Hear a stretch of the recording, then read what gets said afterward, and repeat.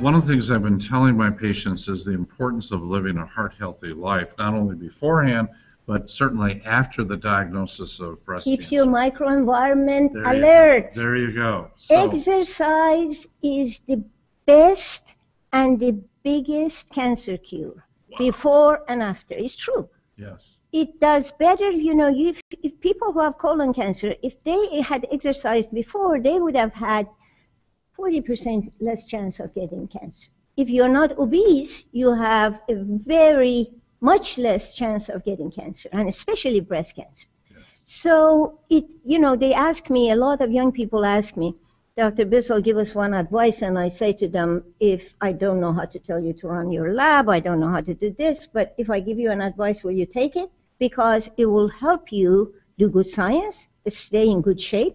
I am a lot older than people usually realize. I have a 48 year old daughter. I have four grandchildren. Uh-huh. I have a big lab, and I still have a lot of energy because I, noticed eat yeah. I eat well Yes. and I exercise. Okay. And I am going to say something controversial that a lot of doctors don't like to hear. It is not estrogen that is the culprit.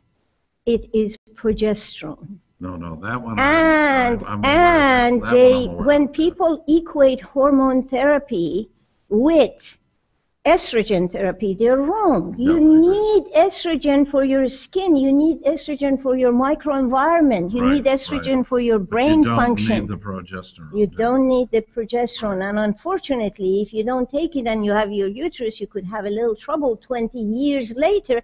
But meanwhile, you're doing fine. Okay, So this is uh, the short and long of it. all right. Well, very good. Any other final thoughts as we wrap up here? Yes. I mean, uh, what I've just said about being heart healthy. Any dietary things that you've learned? Well, you know, a lot of a lot of these things that people have said, like broccoli, this, that, Right. green, dark, whatever, it's all true. Yeah. And uh, the, the only problem is that people don't want to take responsibility for their additional uh, causes of breast cancer, Right.